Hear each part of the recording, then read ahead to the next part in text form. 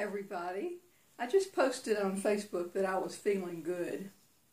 Yesterday I took myself to lunch, which was uh, something I, am learning to do. And I, I find that uh, Vicki enjoyed it very much. She didn't say anything, but she really enjoyed the coffee and just uh, feeling like a grown up. You know, the child in us never grows up the child of us like tea parties, and I suppose that's why I like the idea of taking Vicki to lunch. Some of you uh, are watching my videos, and you can tell how much I like it.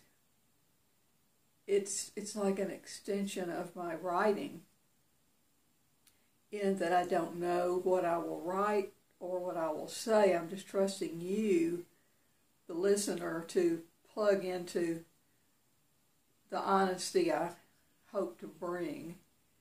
I think that um, there have been so many books written on the subject of I am and on awakening and on enlightenment that we are forgetting that we are real people. I'm a real people. I'm as real a people as any of you, and we're all real. And we're here on a dark planet in a dark time. The only way out is through.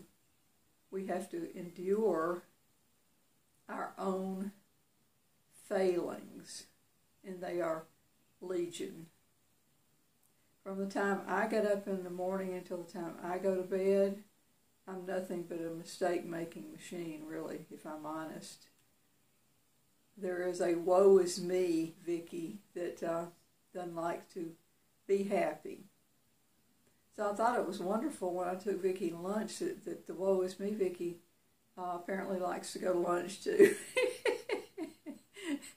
I'm going to play this now and put it up on Facebook, and I'd like to hear your comments on it. Are you enjoying the videos? Uh, what would you like to hear me talk about? yada, yada, yada, blah, blah, blah, because that's all it is, it's just that. It's like your dog, that's what he hears when you baby talk him, but you love him or her so much.